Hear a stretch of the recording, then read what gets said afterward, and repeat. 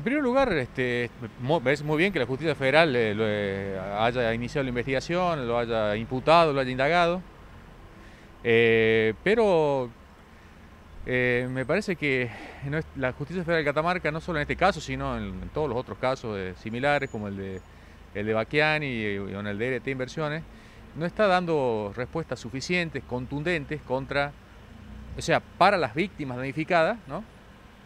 En términos de medidas de coerción fuerte y, eh, contundentes, como digo, contra, estos, este, contra estos imputados. Este, yo desconozco si la caución que se le fijó es, real o personal. Por ejemplo, en, la Justicia Federal de Córdoba, a Baquiani le fijó una caución de 40 millones de pesos, pero real. ¿Qué significa? Que en bienes, o sea, la más grave de todas. ¿no? Entonces, por ahí se hablaba de una lo que traccionan los medios, una caución de 10 millones de pesos para Rojo, pero no sé si es, si es personal, no sé si es una mera fianza, es algo débil, ¿no? Porque tampoco tiene que justificar nada, ¿entiendes?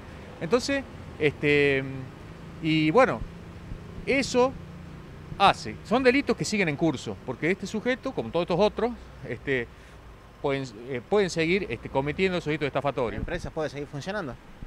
Puede seguir funcionando. Otra cosa, no, no, o sea, no, el dinero no aparece. ¿Qué es lo que a los le está importando? ¿A dónde está el dinero?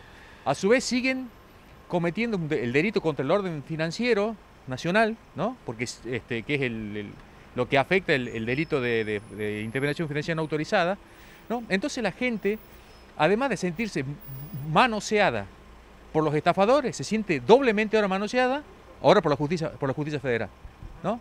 Entonces, eh, por eso no, eh, no estamos de acuerdo eh, con, con, la medida de la justicia federal respecto de Rojo de escarcelarlo con una caución que no, no, no, no es contundente, este, pero vamos a ir a ver el expediente en estos días, eh, se van a acudir en querellante este, los damnificados que representamos al doctor Jerez para controlar la investigación, impulsarla, ser notificados de, lo, de, las, de, las, decisiones. Y otra cosa que el juez federal no está cumpliendo es la Ley Nacional de Derechos y Garantías de Personas Víctimas de Delitos, que es obligatoria su cumplimiento para la justicia federal el cual establece que todo, víctima denunciante, aunque no sea creyente particular, tiene derecho a ser comunicado de toda medida que se lleve a cabo en la, en la, en la causa y sobre todo antes de tomar el juez una medida que haga a la libertad, a la escarcelación del imputado, a la situación del imputado y que pueda afectarla a la víctima. Nada de eso se hizo en esta causa. El juez federal no escuchó previamente, violando la ley, a ninguno de los danificados denunciantes de la causa.